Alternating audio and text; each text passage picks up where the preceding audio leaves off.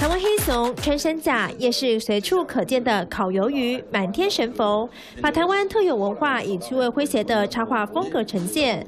创造智能科技首播 NFT 将要免费限量公售，抢搭虚拟 NFT 热潮，让 Web Two 的小白很简单就可以进入的一个方法，就是你就把它当做是一张娱乐的通行证，完全娱乐的录影啊，对不对？你就可以看到你的偶像啊。也就是说，拿到这款以区块链技术为基础的湾岛乐园。NFT 不只能够跟偶像面对面互动，还可以参与节目录影。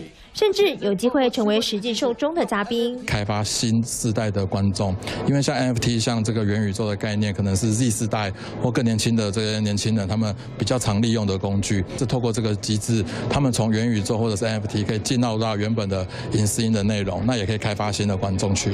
跟上区块链潮流，创造智能科技，要用一颗 NFT 黏住 Z 世代目光，同时打打造新形态的追星体验。三十的视线刘凤慈台北报道。